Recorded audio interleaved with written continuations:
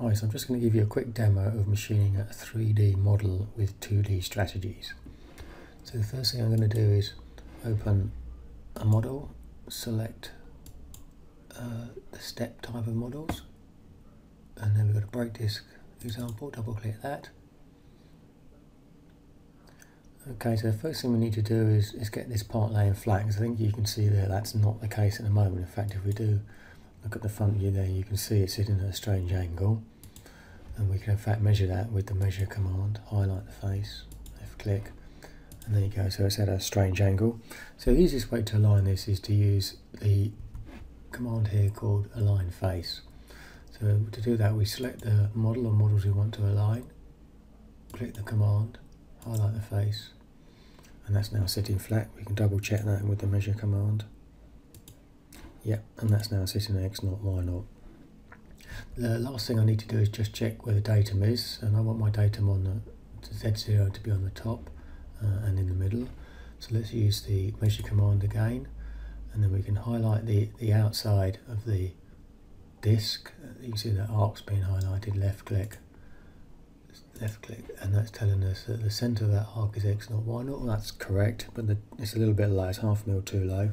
So we're going to move this select part, choose the move command.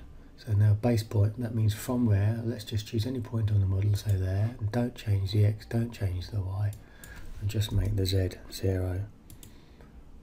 And that should have moved it now. So double check, measure the outside arc, and centered X naught, Y naught, and Z naught. So that's good, that's perfectly aligned. So the next thing we need to do now is we're just going to uh, pocket the inside and draw the holes and machinery on the outside. So we need to create contours and we can do that. We can draw them all over here, but we want to use the uh, contours from the model. So we've got a command here called extract contours from face. So we'll choose that, highlight the face, left click. You can see all the blue, they're the contours that we've just created. So all the holes, the inside and outside edge. Uh, next thing we need to do is set a height on the contours. So right click, set height. The top is naught by default, that's fine. So click OK. The bottom, we could key in a value, but let's just pick it from the model. So here at the bottom, left click, and that's found that it's at minus 7, and set the height, so that's done. So the next thing we need to do is we can start machining. We can do, let's machine the, or pocket the inside out first. So we'll choose a tool, uh, let's use 12 mm ripper. Choose the pocket command now the, the values we put in here, um, with the absolute unchecked, all the values are from the top of the contour apart from the finish depth which is from the bottom. And when the top of the contour is zero, the absolute makes no difference, but when the absolute is checked, it literally means those are the figures that will be, will be output. So we can set our heights, um, initial rapid of 50, then down to 2, that's some people feel comfortable coming to a higher point first, but I'm going to go straight to 2. Uh, material, uh, feed from 2, that's fine. Material top, 0, yeah. Finish depth, so I'm going to go minus 0 0.5. That's going to go through the job by 0.5 because the depth of the contour is already at minus 7, so that would go to minus 7.5. And we'll do a couple of passes because we're roughing, spindle speed.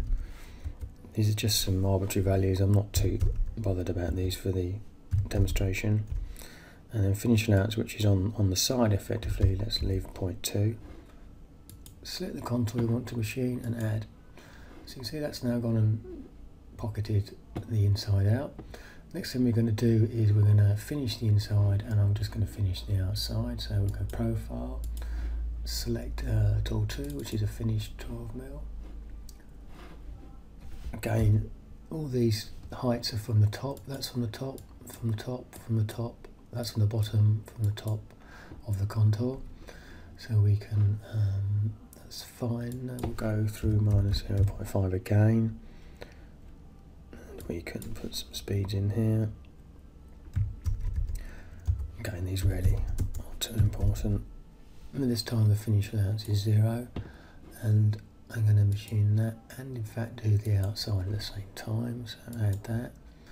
So you can see it's on the outside. Now the inside will in fact, if I just show you the wireframe view has actually gone on the wrong side because the default is always on the outside for profiling. So if I just select the inner one and then change the sign and direction to inside and we've now we're now going around the inside. And what I could do is just suppress that so we can see yeah so you can see now we've gone around on the inside put the shaded view back on.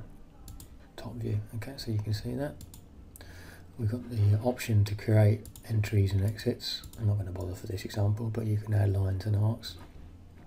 Okay lastly all we need to do is drill the holes so drill select tool 5 mil drill um, fit in all the depths. Again the depths from the contour height. So all I want to do is make that say 2 mil. I go through through the job by 2 mil. Speeds need to do now is select all the circles. So I'm just going to go select all unselect the outside. It was only drill circles so add all those circles. And there we go you can see all those holes are drilled and they've come come through as well by 2 mil. So job's job's now finished so I'll just unsuppress all of those. I just need to simulate I don't have to simulate it but I'm going to. Uh, I'm going to create um, a material stock which is round so I'm going to just go offset over a millimeter create an offset on the outside of one millimeter. So I've now got another contour on the outside. I'm going to choose material stock from contours so we've now got material stock. Uh, simulate. And then we can slow that down so I finish finish drill the holes and there we go. So that is now complete. And the last thing you do now is you go to the NC code tab. You don't need to generate the code. It's always there. Um, we could save save the disk however you get it to your machine or this is for the RST2 so I could go send to machine and that will send the NC code just there direct to the machine. So there you go. So that's a quick overview. Thank you very much